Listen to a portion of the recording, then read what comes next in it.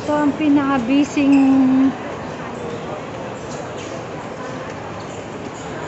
place sa Causeway Bay. Ayan, no, sa baba.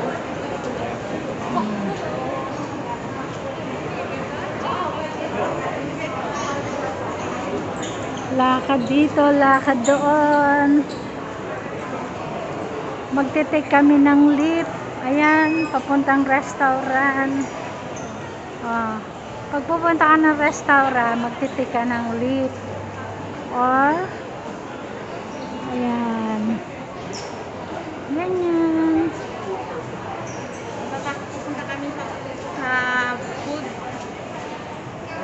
food court. Nasa 10th floor ba yan? Ayan, 12 floor yan, nakalagay